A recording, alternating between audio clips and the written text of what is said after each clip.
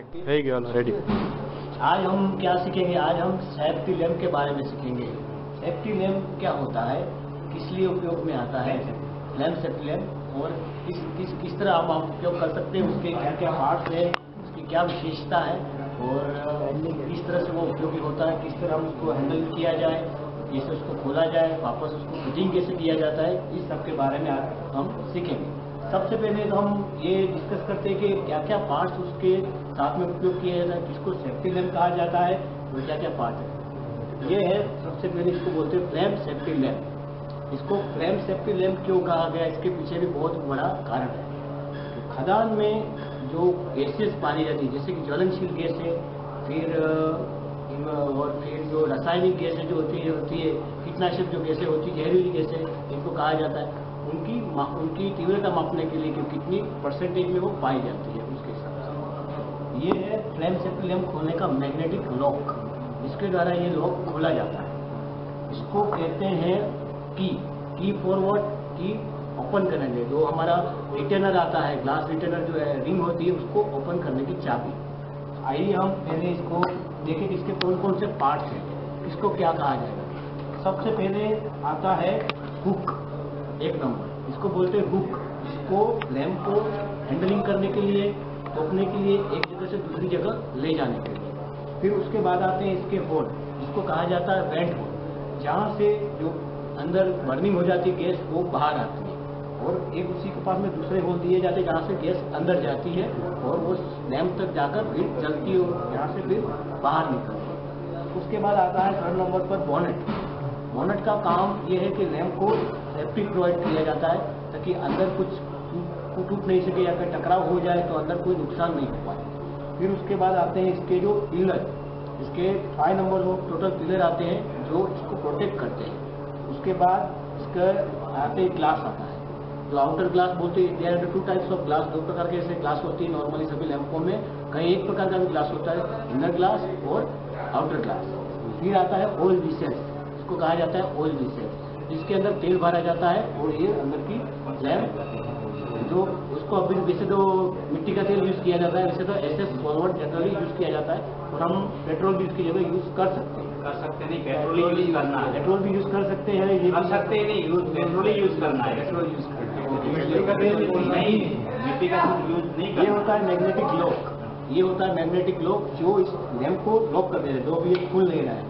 आपके सामने ये खुल नहीं रहा है। इसके द्वारा ये ये भी एक प्रकार का इसका सेफ्टी फीचर्स आता है फिर इसके नीचे में इसको बोलते हैं एडजस्टर स्क्रू जो इस लिखा ये ये होता है एडजस्टर स्क्रू जो इसकी जो लो होती है, जो बत्ती बोलते हैं विक विक एडजस्टर स्क्रू बोला जाता है इसको। जिसको अप डाउन करने के लिए इसका यूज़ किया जाता है। ओके तो ये इसके सभी आउटर पार्ट्स हैं। अब इसके इनर पार्ट्स के बारे में भी हम जानते हैं। पहले हम देखेंगे कि इसको खोला कैसे जाए। इस तरह से हम इसको ओपन किया जाए। हम इसको खोलने के लिए हम क्या करें हमारे ये मैग्नेटिक लॉक है इसका हम उपयोग करेंगे। जिसके द्वारा बिना मैग्नेटिक लॉक के ये लैम्प अभी नहीं खुल सकता। तो हम मैग्नेटिक लॉक का उपयोग करेंगे। लैम्प लैम्प सेफ्टी लॉक देखिए, हम किस तरह इसको यूज़ करेंगे? ये हमारा मैग्नेटिक लॉक ये हमारा मैग्नेटिक लॉक को हम, ये मैग्नेट है, इस मैग्नेट के साथ फंसाएँगे।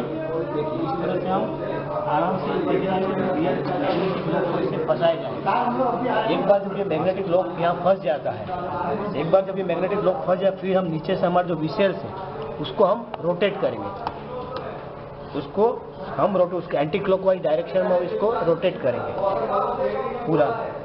इस तरह से फिर धीरे धीरे लोग के साथ की मदद से हम ये विशेष को अलग करेंगे। बिना मैग्नेटिक लॉक के नहीं। ये देखिए, हमारा ये नीचे का विशेष जो कि मैग्नेटिक लॉक के मदद के द्वारा से खुल गया।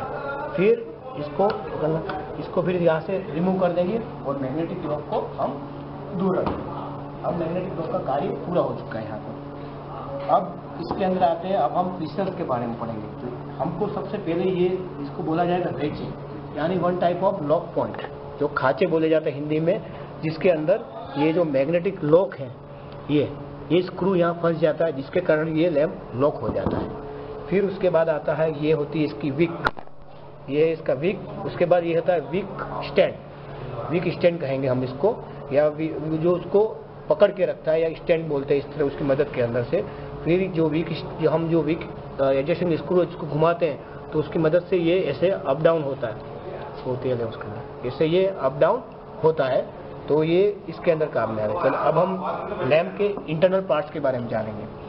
तो लैम्प हमने खोल दिया आधा और आधा बाकी है। अब ये है हमारा एडजस्टर रिंग जो वी ग्लास एडजस्टर रिंग बोला जाए। अब इसको कैसे खोला जाए? तो हम ये हमारे ग्लास एडजस्टर रिंग की ये की है जिसकी मदद से हम इसको खोलेंगे। इसके अंदर भी इसके छोटे छोटे पॉइंट दिए गए हैं। निकाल लीजिए पहले हाँ। इसको निकाल लीजिए वैसे नहीं निकलेगा खोलने के बाद ही निकलेगा।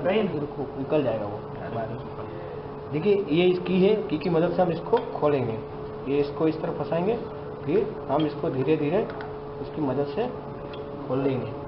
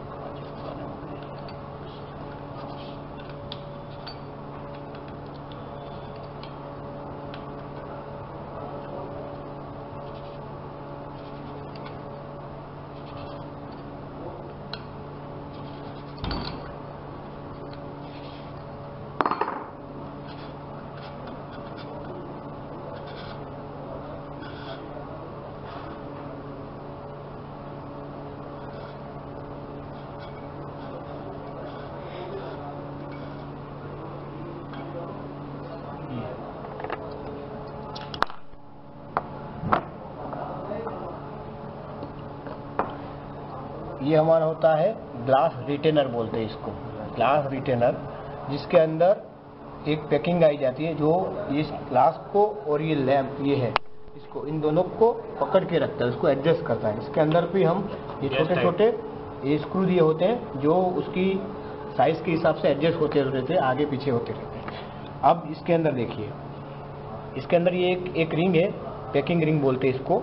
एस्बेस्टस रिंग बोला जाता है इसके अंदर। दो एस्बेस्टस रिंग कहा जाता है। या फिर सामान्य पैकिंग रिंग भी हम इसको बोलते हैं। देखिए अब इस, ये है हमारा ग्लास इसको बोलते हैं आउटर ग्लास जैसे कई लैंपों में इनर ग्लास और आउटर ग्लास दोस्तों दोनों होते हैं इस लैम्प में सिंगल ग्लास ही है। तो इसको इस तरह निकालेंगे अब इसके अंदर बचता है गेज देर आर दो दो प्रकार की इसमें गेज की जाते हैं। पहले रिंग स्पष्ट ये है एस्बेस्टस रिंग एक प्रकार की पैकिंग रिंग फिर इसको इस तरह निकालेंगे। दो प्रकार की गेज यूज़ किया जाता है inner gauge and outer gauge ये है आपका आउटर गेज अलग करो और ये आपका इनर गेज ठीक है? और इसको बोलते हैं asbestos ring one one type of packing ring इन सभी का अलग अलग महत्व है। अपने हिसाब से सभी का अलग अलग कार्य है। देखो इसके अंदर होल भी दिए गए हैं। एक छोटे छोटे वेंट होल है जिसके द्वारा गैस अंदर आती है फिर बर्न होके बाहर निकलती है अच्छा तो अभी इसका फिटिंग अब इसका हम वापस इसको फिटिंग करेंगे। जो जिस प्रकार की इसी इसी सीक्वेंस में जिस तरह से हमने इसको पूरा खोला उसी तरह से हम इसको बंद करेंगे। तो सबसे पहले हम लास्ट टाइम हमारा क्या रहे थे? इनर गेज और आउटर गेज ये वायर मेश की हुई होती है। ये वायर पूरा वायर मेश है छोटे छोटे वायर मेश इसकी साइज़ होती है एक इंच में 28 छेद होते हैं बाय लेंथ और हाइट के वाइज हाइट में भी अगर आप एक इंच की काउंटिंग करेंगे तो 28 छेद होंगे और इस तरफ़ में भी 28 छेद होंगे। इसको वापस इसके अंदर डालेंगे। ये आउटर गेज है हमारा, ये इनर गेज है। तो इसको इस तरह से हम फिट करेंगे। ये पूरा इस तरह बैठ गया। फिर उसके बाद हम पैकिंग रिंग यूज़ करेंगे एस्बेस्टस रिंग उसको लेंगे। फिर यहाँ पर इसे पैक करेंगे। फिर जिस तरह से हमने इसको निकाला, उसी दिशा में हम वापस इसको एडजस्टमेंट करेंगे, डालेंगे। ये देखिए, यहाँ पे ये फिट हो है फिट होने के बाद फिर हमने ग्लास ग्लास का यूज़ करेंगे। ग्लास को वापस इस तरह से हैंडलिंग करते हुए इसको अंदर तक एडजस्टमेंट करेंगे, रखेंगे इसको उसकी जगह पर, आराम से और देखेंगे अब आपको इस ग्लास और ये रिटर्नर रिटर्न के बीच में जो गैप दिख रहा है, वो एस्बेस्टस रिंग के द्वारा ये यूज़ किया जाएगा इसको मत। ये पैकिंग रिंग है और ये हमारा है ग्लास रिटेनर है एडजस्ट एसबेस्टस रिंग के लिए। ठीक है? ग्लास रिटेनर बोर्ड या वीक रिटेनर बोर्ड इसको फिर इसके द्वारा रखकर जिस तरह हमने खोला है उसी दिशा में इसको वापस फिट करेंगे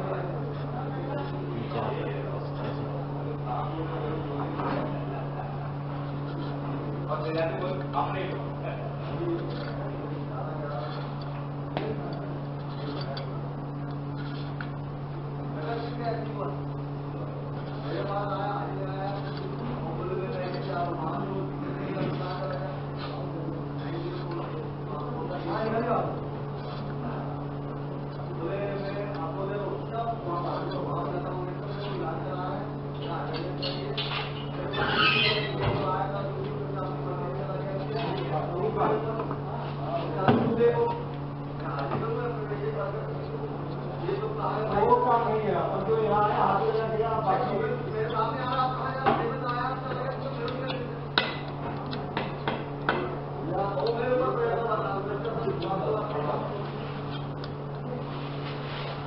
पूरी तरह कर देंगे, जहाँ तक वो जाता है, वहाँ तक इसको एक बार कर दिया जाएगा फिर हम ये स्क्रू का यूज़ करेंगे। जो वीक वीक को संभाल कर रखता है। तो इसको इस तरह से, जहाँ हमारे वीक है, वहाँ पर इसका, इसको फिट कर देंगे।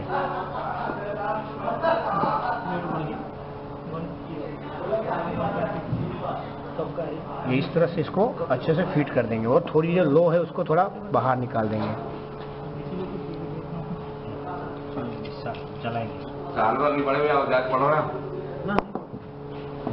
इसको अब जलाएँगे हम। ये इस तरह से जल जाएगी। ठीक है? अनिल भाई अब इसको हम इसके ऊपर देखते हुए इसको इसमें रख दिया जाएगा।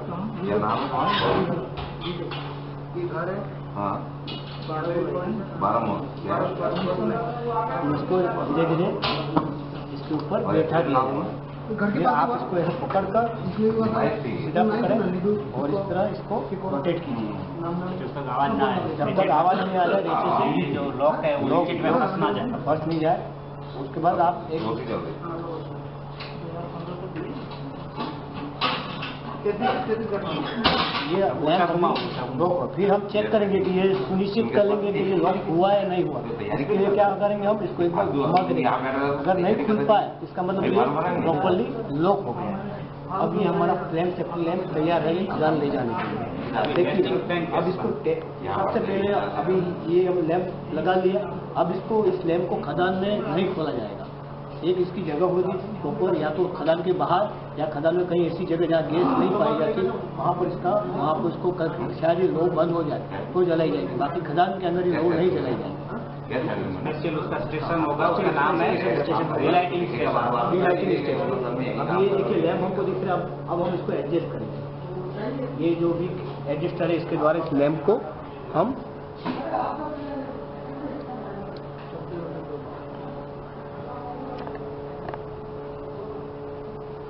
ये देखिए धीरे धीरे लैंप हो रही है कम। आपको दिखाई दे रहा है। एकदम ब्लू ब्लू फ्लेम दिखना चाहिए। अब देखिए हम सबसे पहले क्या करेंगे जब लैंप लेके जाएँगे तो हम माइंस में जाते हैं। तो माइंस में गैस है कि नहीं हमको कैसे पता चलेगा ठीक है? उसके लिए तो सबसे पहले जब हम फेस में जाते हैं यानी आयतन हिंदी में उसको आयतन बोला जाए जब हम फेस में या गैलरी में कहीं जहाँ पे हमको जगह मापनी है गैस यहाँ गैस है या नहीं तो वहाँ पर जाएँगे तो सबसे पहले हम क्या करेंगे? एकुमुलेशन टेस्ट करेंगे। यानी जमा जाँच क्या करेंगे? जमा जाँच जमा जाँच किसके द्वारा की जाती है? दो प्रकार की बत्ती आती है। एक ये जो नॉर्मल फ्लेम बोलते हैं, दो प्रकार की फ्लेम आती है। एक नॉर्मल फ्लेम आता है, एक परसेंटेज परसेंटेज फ्लेम आती है।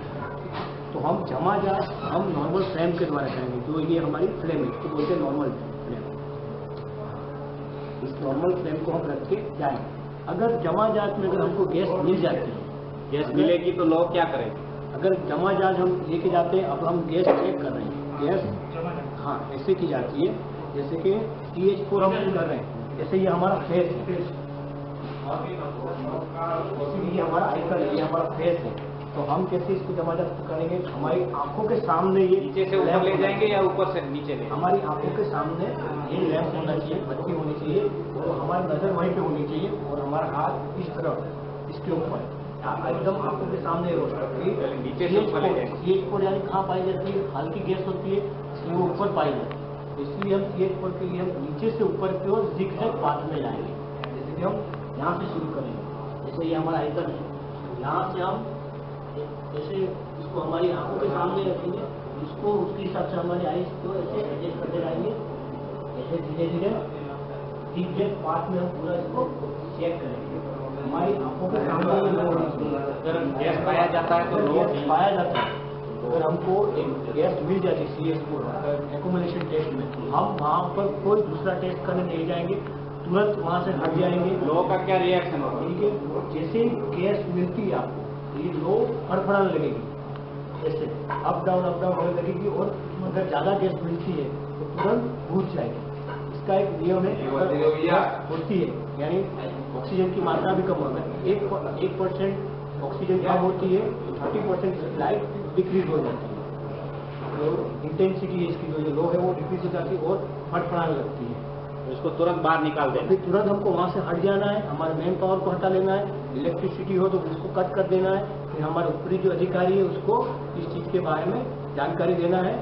और या फिर उसको या, या उसके बाद हमको वहाँ पे गैस को रिमूव करने के लिए हवा का वेग बढ़ाना है। यानी इंटेंसिटी ऑफ़ एयर हमको पावर के बढ़ा कर उस एरिया को प्रॉपर वेंटिलेट करना है। तो परसेंटेज टेस्ट करना है। अगर हमको पहली एकोमोडेशन में अगर हमको गैस नहीं पाई है मैगिंग में इमरजेंसी आ गई है। अगर एकोमोडेशन टेस्ट में ठीक है जमा में अगर हमको गैस नहीं मिलती है तो फिर हम जाएँगे इसके परसेंटेज ऐसा पे। मज़ा ना ये परसेंटेज ये टेस्ट है। ये तभी किया जाएगा जब जात में हमको गैस नहीं मिलेगी उसके लिए सबसे पहले ये हमारा नॉर्मल फ्लैग है। इसके लिए हम हम परसेंटेज फ्लैग बनाए। ओके तो कैसे बनाया जाएगा? ये हमारा जो बीटी रजिस्टर है उसके द्वारा हम इसको धीरे धीरे धीरे नीचे करेंगे और फिर परसेंटेज फ्लैग बनाएँगे। टेस्टिंग फ्लेम बोलते हैं उसको और हमने लगी गैस तो क्या था? क्या गड्ढे ऊपर गड्ढे है जल्दी गड्ढा इसको कैसे करें क्या करते हैं? देखिए मेरे दिमाग में नहीं है। कॉप यूज़ करेंगे कॉप तो आपके हाथ से ऊपर जा रहा है वो। पाइपलाइन नहीं ना उसमें? देखिए ये जो पीला पीला जो पोर्शन दिख रहा है उसको हम पूरा बुझा देंगे और ब्लू कलर तक नज़दीक लाओ कैमरा ये येलो नहीं दिखना चाहिए येलो नहीं दिखना चाहिए इसको एकदम छोटे से छोटे देखिए ये देखिए हो गया। इस फ्लेम को बोला जाएगा आपको टेस्टिंग फ्लेम यानी परसेंटेज फ्लेम या ये इससे अब हम और छोटा करना चाहेंगे ये बुझ जाएगी ये एकदम येलो कलर नहीं दिखना चाहिए। फिर इस इस फ्लेम के द्वारा कलर नहीं दिखता है इसका वजह हाँ। ये कि इसमें प्योर पेट्रोल नहीं डाला हुआ है। हाँ। प्योर पेट्रोल डलता तो येलो फिर अब इस फ्लेम के लेके जैसे हमने कम एकोमोडेशन टेस्ट किया था वैसे हम फिर से इस फ्लेम को लेके उसी तरह फिर ऐसे नीचे में ऐसे नीचे से होते हुए ऊपर की ओर। येलो येलो येलो फ्लेम की जितनी हाइट होगी उस हिसाब से परसेंटेज हाँ, इस तरह से हम ये परसेंटेज टेस्ट किया जाएगा। तो। परसेंटेज टेस्ट में आपने कावर डायग्राम पढ़ा होगा। कावर डायग्राम में ये दिया गया है कि मीथेन की इसकी क्या लिमिट है?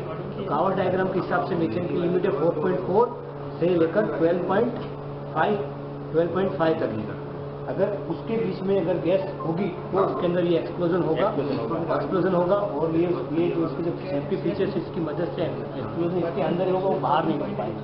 यानी जो फाइव पॉइंट फोर से फोर्टीन पॉइंट एट है भैया 5.4 से 14.8 तो वो एक्सप्लोजन उसके अंदर होगा और गैस गर्म गैस जो बाहर निकलती है वो अंदर ही ठंडी हो जाएगी यानी जो सराउंडिंग वातावरण जो है हमारा तो से इसके माध्यम से वो गैस एकदम कम निकलेगी यानी कि वो बाहर के एनवायरमेंट में एक्सप्लोजन नहीं हो। पाएगा इस तरह से फ्लेम का यूज़ किया जाता है। इस तरह से हम गैस की गैस जमा की जाती है तो मापा जाता है।